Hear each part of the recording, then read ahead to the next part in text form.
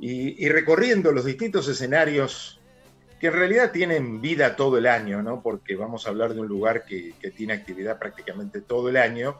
Pero bueno, este, enterándonos un poco de cómo son los protocolos, cómo son eh, los requisitos como para poder disfrutar de este espacio que es Mundo Marino, eh, allí en San Clemente del Tuyú, eh, que, tanto disfrutamos cada vez que vamos. Y por eso estamos en línea con Andrea Cabrera, es vicepresidente de la Fundación Mundo Marino y responsable de comunicación del Parque Educativo de Mundo Marino. Eh, hola Andrea, Carlos Clerich en Ecomedios te saluda, muy buen día, ¿qué tal? Ahí está, conecta, estás tratando de conectar el audio que me parece que no tenías conectado. Hola Andrea, ¿ahora sí? ¿Me escuchás? Buen día. Hola Carlos, sí, ahora sí. ¿Cómo va? Un bueno, perdí la conexión. Sí, por eso, a veces uno mete dedo, el otro día yo estaba al aire también hablando y de golpe había metido justo el dedo en el audio y no me estaban escuchando. ¿Cómo va eso? Bueno, contanos un poquito cómo, cómo está trabajando Mundo Marino esta coyuntura, ¿no? Eh, teniendo en cuenta, bueno, tantas tantas cosas que hay que cuidar para que sea todo bien seguro para el turista, ¿no? Eh, bueno, sí, hemos estado, hemos tenido muchos meses justamente para prepararnos para este momento, así que eh, en un comienzo nos enfocamos en, el cuidado de lo que eran las medidas necesarias para el personal que tenía que seguir asistiendo para cuidar a los animales y, y el cuidado de los animales también. Y bueno, y después tuvimos todos estos meses para pensar en, nuestros visitantes.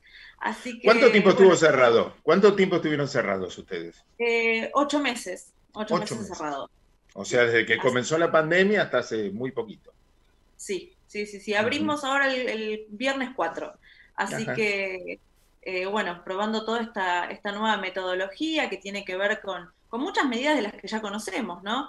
Eh, contamos con una cámara termográfica para el control de la temperatura de nuestros visitantes, eh, medidas de distanciamiento social, señalizaciones en, el piso, en los distintos lugares de las exhibiciones de los animales para poder mantener la distancia entre los visitantes, a disposición sanitizantes de, manos en, los distintos puntos del parque que siempre los visitantes tengan a mano, reducida la capacidad del parque al 50% también.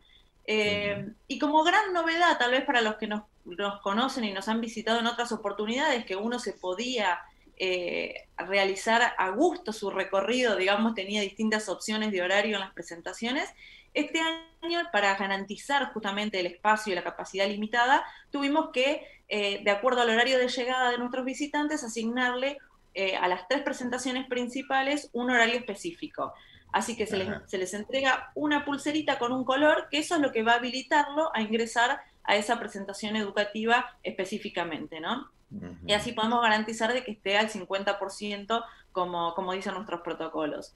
Em, y después, bueno, medidas eh, sanitarias de, limpieza de, los distintos eh, lugares eh, que son compartidos, ya sea bancos, eh, plazas, em, puentes, bueno, todo eso que está al alcance de las personas con unos circuitos de sanitización también. Nuestra ventaja es que tenemos un parque que, es enorme. y al aire libre todo, claro, esa es la gran ventaja. Entonces, para nosotros es una, es una gran ventaja. Eh, imagínate que son eh, más de 40 hectáreas, casi 50 manzanas, eh, que son eh, mayormente al aire libre, con lagos, cascadas, mucha arboleda. Entonces, bueno, eso es una, gran ventaja y seguridad para nuestros visitantes también, ¿no? Que van a estar en un entorno eh, cuidado. Perfecto. ¿Cómo han estado los animales en este tiempo? Porque hemos visto muchas historias en el mundo entero de que los, los espacios que habían perdido por ahí los animales los recuperaron por, por el encierro de, de los seres humanos, ¿no? ¿Cómo fue la situación ahí con ocho meses sin, sin gente, aunque obviamente todo el personal estaba allí trabajando, ¿no? Claro, bueno, es una situación bastante particular. Nosotros tenemos vidas que dependen de nosotros, así que eh, todos los que, los que están al cuidado de los animales, ya sea porque eh, son los que tienen el, el, contacto directo con ellos, que son sus cuidadores, o porque se dedican, eh, su trabajo es a mantener eh, en condiciones los lugares donde viven los animales, los que preparan el alimento. Bueno, toda esa gente siguió muy activa durante todo el año, obviamente con protocolos y, y, en grupos, por las dudas, para evitar que si alguien se contagiaba, pudiesen seguir cuidando a los animales y, que, y poder mantener esa calidad de bienestar animal de, todos ellos, ¿no? Eh, el centro de rehabilitación estaba un poco más limitado porque, bueno, justamente eh, bajo estas condiciones de pandemia no podíamos salir a hacer los, los recorridos por playa hasta que llegamos a fase 5 en nuestra localidad y ahí pudimos retomar las recorridas en playa y también al no salir la gente no teníamos avisos. Eh, nosotros muchas veces contamos los avisos para los rescates de animales de los turistas o de, los, de, la gente que vive en, nuestras localidades, que nos da aviso y vamos a, eh, en busca de, los animales que necesitan ayuda. Entonces, en ese sentido nos vimos un poquito más limitados, pero también estuvimos activos con, con distintas... Eh, autoridades gubernamentales de provincia y de nación, porque tuvimos varios casos de lobitos que aparecieron en Quilmes, en Entre Ríos, entonces, bueno, muy activos también en este trabajo cooperativo con, con las autoridades. Claro, lugares atípicos, ¿no? Donde Era impensable encontrarlos, claro. Justamente, bueno, hace unos días hicimos la, reinserción de tres lobitos y uno de ellos era de, de Verazategui. Así que imagínate que, que, bueno, una logística importante en esos casos para que vuelvan otra vez acá a la playa. Bueno, y este fin de semana en particular, ¿cómo, cómo fue el movimiento, digamos?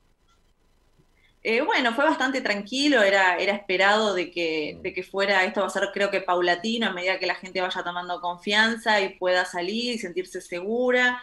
Eh, pero bueno, felices de, de, poder estar recibiendo visitantes, poder llegar con un mensaje de amor eh, y de protección a los animales también, que, para nosotros es importante, porque si bien estuvimos muy activos durante el año, creemos que una de nuestras funciones principales es justamente educar a la gente y poder transmitirle todo esto que, sabemos que está pasando ¿no? con el medio ambiente y cómo poder ayudar a los animales y a sus hábitats. Entonces, para nosotros, la verdad que eh, estamos muy felices, por más de que esto sea paulatino y de a poquito.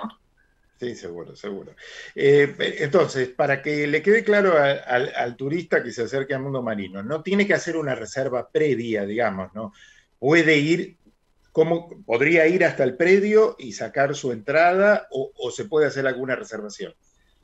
Tenemos las dos modalidades. Nosotros sugerimos hacer la compra online con reserva porque eso va a garantizar de que pueda ingresar. Al tener el cupo limitado, vamos a estar... Eh, justamente, como dice la palabra, más limitados que en otros momentos. Entonces, la compra anticipada online con su reserva va a garantizar de que tenga su, eh, su lugar. Pueden venir a comprar al parque, pero puede pasar que está saturada la capacidad y ya, bueno, no, no sé. Hay que decir, no hay más lugar, claro. Claro, tendrían que reprogramar la visita y sobre todo para los, lugares que vienen, nosotros eh, recibimos gente de distintas localidades, incluso hasta de Mar del Plata. Entonces, bueno, en esos casos que la distancia es aún mayor, más recomendable todavía hacer esta, esta reserva y compra anticipada. Perfecto. Bueno, y en el momento, como dijiste entonces, se asignarán los eh, horarios para las atracciones principales. Ahí está.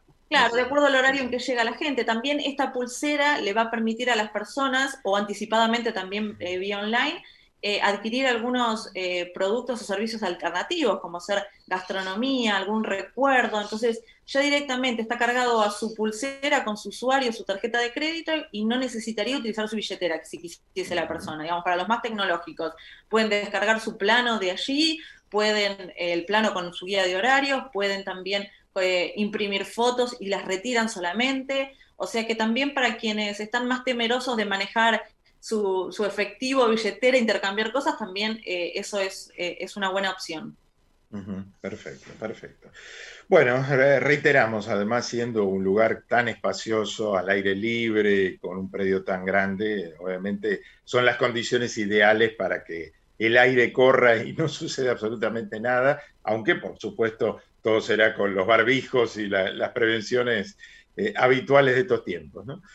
Eh, Andrea, bueno, ha sido un placer eh, contactarte y seguiremos, seguiremos durante todos estos días en la temporada en contacto como para reforzar esta comunicación, ¿sí? Bueno, muchas gracias por la oportunidad para contarle a la gente cómo estamos trabajando y desde ya que que los esperamos y bueno, éxitos a todos los que estábamos esperando esta temporada. Bueno, ojalá que sea exitosa.